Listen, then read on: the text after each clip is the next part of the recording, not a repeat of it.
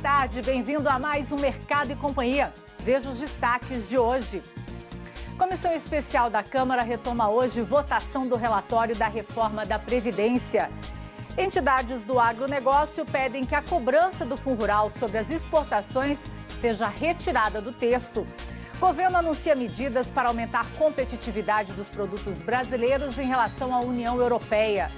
Governo de Mato Grosso deve realizar nova reunião com representantes do agro para discutir mudanças na lei de incentivos fiscais do Estado.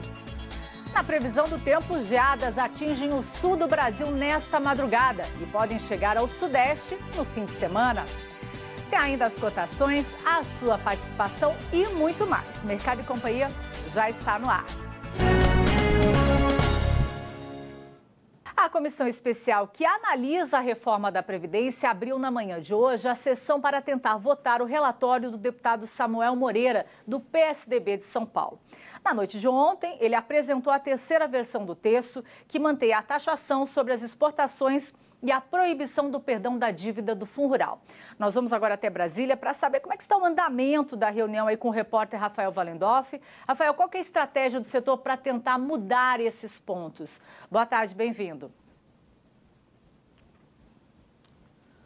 Boa tarde, Kelly. Boa tarde a todos que acompanham o Mercado e Companhia.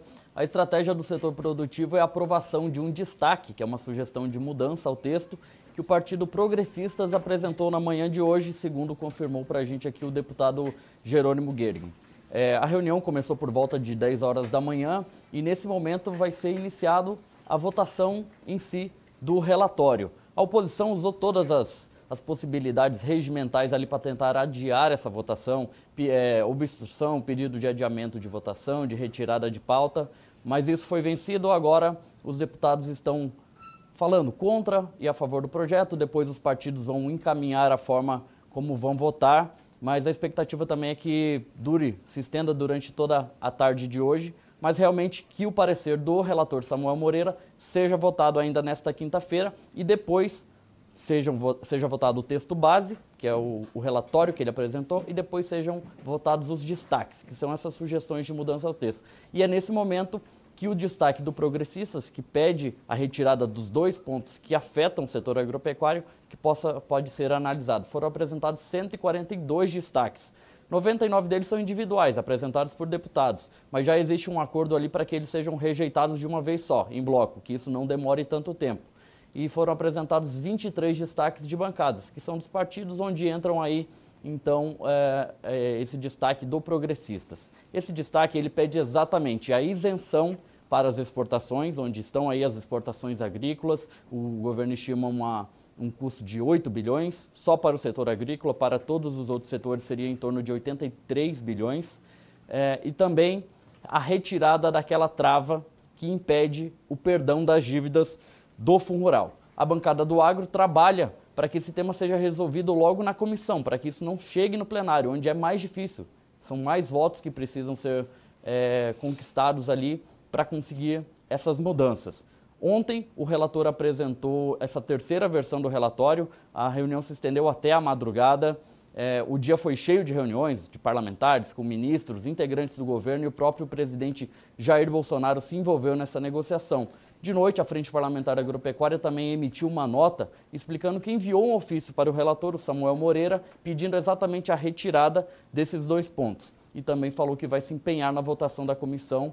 Agora também a gente espera então a votação desse destaque ao qual me referi. Hoje a ProSoja Brasil também emitiu uma nota falando aí contra essas medidas e o quanto isso pode gerar de prejuízo, de desequilíbrio econômico, caso elas não sejam retiradas do relatório como está agora. A gente vê aí as imagens, os deputados eles estão discutindo ainda ah, contra, a favor do texto. Logo em seguida, então, deve começar a votação. Como disse, pode ser uma sessão muito extensa, durar toda a tarde, talvez entre a noite também, com a votação desse destaque. São muitos e são polêmicos, como esses pontos que a gente se referiu aí. Por enquanto, o texto traz taxação das exportações para o agro, que pode gerar um impacto de 8 bilhões, segundo o Ministério da Economia, e também uma trava que impede a remissão, o perdão das dívidas do Fundo Rural. Vale lembrar também que antes é, de, de, de entrar em vigor essas novas regras, precisa ser aprovado na comissão especial, depois vai para o plenário da Câmara, onde você precisa ser votado em dois turnos, duas vezes, com quórum qualificado, e depois também segue para a tramitação no Senado Federal, lá no plenário, para a votação dos senadores. Kelly. Plenário aí a gente acredita que vai ser só depois do recesso, que tem um recesso aí pela frente, né, Rafael?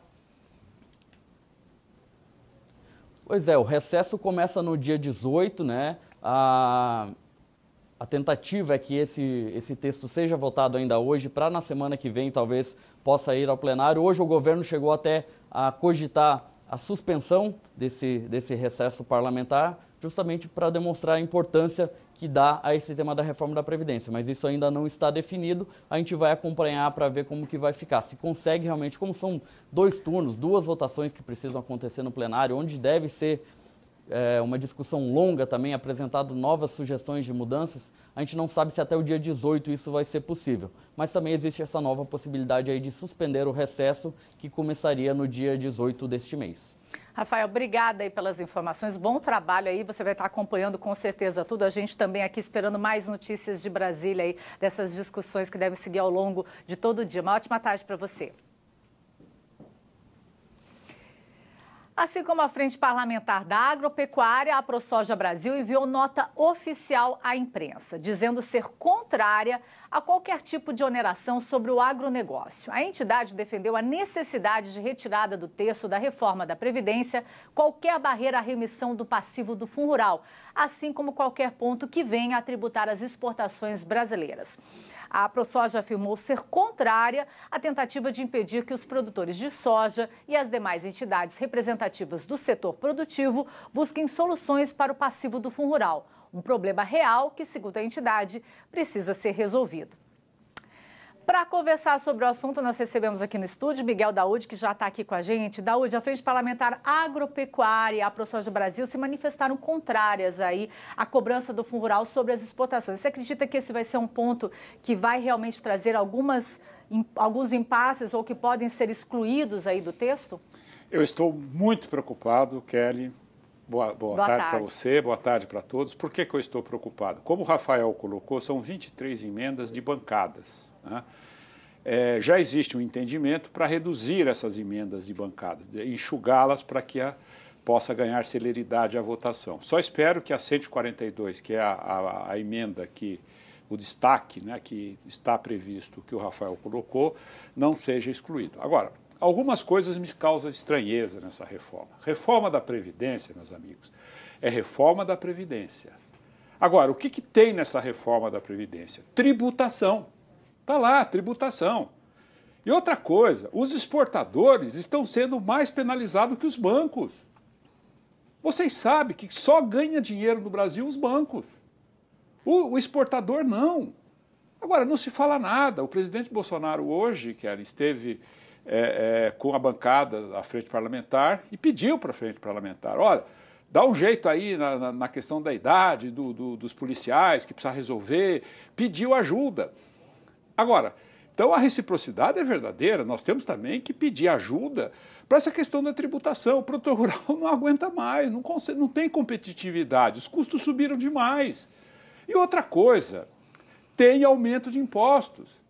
E outra coisa, a contribuição sobre o lucro líquido que está sendo imputado aos bancos vai para o caixa único do sistema de seguridade social. Será que vai ser contabilizado na conta da Previdência? Como não fizeram, como contabilizaram despesas que não contabilizaram as receitas. Então essas coisas precisam ser, ser esclarecidas. Agora, o que não tem mais cabimento é penalizar o setor agropecuário. Não tem mais jeito.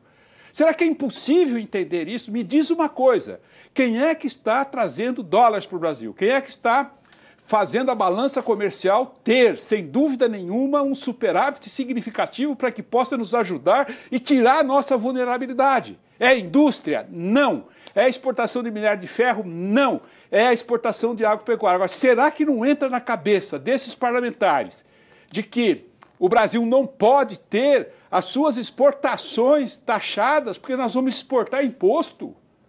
É impossível isso, que é revoltante. Agora, eu vejo tudo isso com uma passividade. As pessoas falam, não, Daúde, agora vai passar a reforma da Previdência, o Brasil vai crescer, mas vai crescer aonde? Aonde? A reforma da Previdência não, não resolve o problema de caixa imediato. Ah, não, mas aí os investidores vão vir aqui. Bom, a minha esperança é que os investidores venham e façam gerar emprego, gerar renda.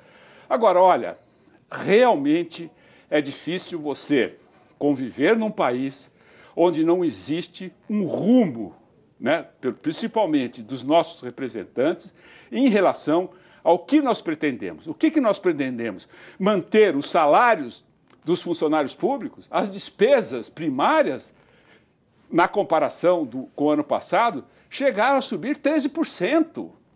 A queda de receita, a queda de investimento foi, muito, foi de 50%. Então, o que, que está se fazendo? Está se cortando despesa?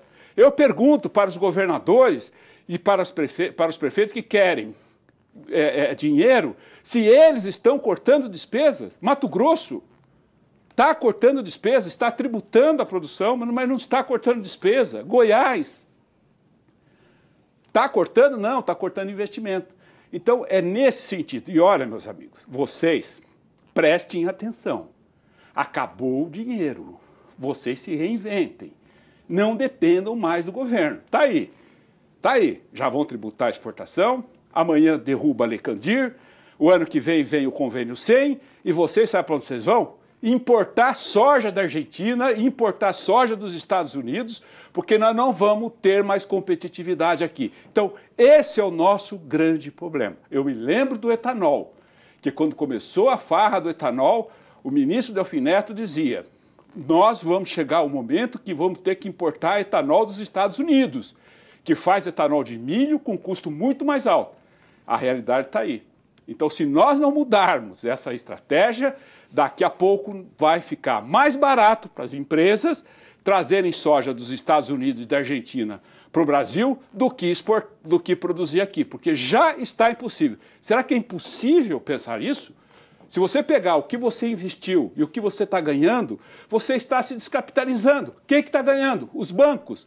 E aí vem a reforma da Previdência e tributa mais o agronegócio do que tributa os bancos. Então aí a coisa está tudo de perna para o ar e vocês querem que eu fique aqui dando risada e fazendo as análises na margem. Não faço. Eu vou no centro da questão, que é exatamente essa: vão destruir o Brasil. Para o setor de leite, o governo deve isentar a importação de máquinas usadas na produção para diminuir custos e ajudar na modernização do segmento. A ministra da Agricultura também falou da possibilidade de recorrer à Organização Mundial do Comércio caso a importação de lácteos aumente muito nos próximos anos esse setor precisa ser mais competitivo. Né? Ele precisa ser mais competitivo interno e também externamente. Mas, em compensação, abre aí grandes oportunidades para a gente ter é, agregação de valor a esses produtos, fazer mais leite em pó né? e ser competitivo. Agora, para isso tem toda uma lição de casa. Quando é, nós acabamos com o antidumping do, do, do leite, isso foi uma das propostas do Ministério da Economia para ajudar o setor. Então, isso está na fase final e a gente espera que o mais rápido possível a economia possa publicar a, isenção dessas máquinas, teteiras, resfriadores, robôs, etc., etc., que era um pedido do setor para facilitar e ajudar, que hoje os impostos de, é, sobre a importação são muito altos e muitas vezes eles não conseguem trazer é, é, esses equipamentos que são essenciais para uma pecuária leiteira moderna. Se amanhã nós tivermos uma enxurrada de entrada de leite aqui, nada nos impede de ter aí medidas como é, antidumping, salvaguardas, salvaguardas. Então, isso, o, o, acordo não excluiu essas medidas que estão no, vão no limite, né, que a gente espera que não precise usar. Entidades desse segmento chegaram a afirmar que os brasileiros seriam prejudicados pelo acordo entre União Europeia e Mercosul. Essas medidas anunciadas pela ministra podem deixar o setor de leite mais tranquilo? Como é que você vê isso, Benedito? Vamos voltar lá para Brasília. Kelly e meus amigos produtores de leite, essas medidas não tranquilizam nada. Elas são paliativos. A importação de robôs, etc., isso pesa pouco no contexto.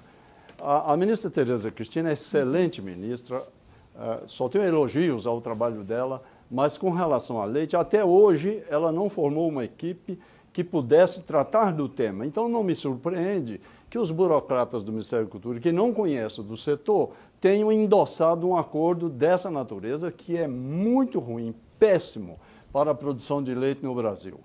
O, o, a ministra fala de aumento de competitividade para ser eficiente daqui uh, 8, 10 anos para competir com europeus. Que ingenuidade! Nós estamos falando do pior adversário em matéria de concorrência de lácteos no mundo. Pior pelo seguinte, eles subsidiam pesadamente a produção de leite em pó, queijos e derivados. Aí o Brasil vai e abre esse mercado justamente para a Europa. Ora, ministra, ora, meus amigos produtores de leite e laticínios, será que Ninguém, está todo mundo esquecendo um tal de custo Brasil. Ora, resolver problemas de infraestrutura no interior do Brasil com um fundo, com um programinha do governo. Não, o setor de leite e de vinho foram sacrificados no acordo com a União Europeia em benefício de outros setores. Então, essas medidas que estão sendo anunciadas não aumentarão a competitividade do produtor de leite o, os médios produtores de leite, os pequenos que estiverem fora de cooperativas, eu não gosto de dar, dar, dar conselho para ninguém, mas eu acho, preparem-se para sair da atividade, não invistam mais, porque piorou. Já no, no início do acordo, 10% a mais de importação de leite em pó da Europa. Outra ingenuidade é achar que é só 10 mil. Se a tarifa que sem o antidump caiu para 27%, 10 mil toneladas, serão apenas a isca. E em cima das 10 mil vem muito mais, porque aí, se for o dobro, o imposto seria de 13,5%. Quer dizer, vai entrar leite em pó, vai piorar a vida dos produtores de leite, sim. E esses programas paliativos não resolvem. Sentiu falta de algum conteúdo? Acesse www.canalrural.com.br.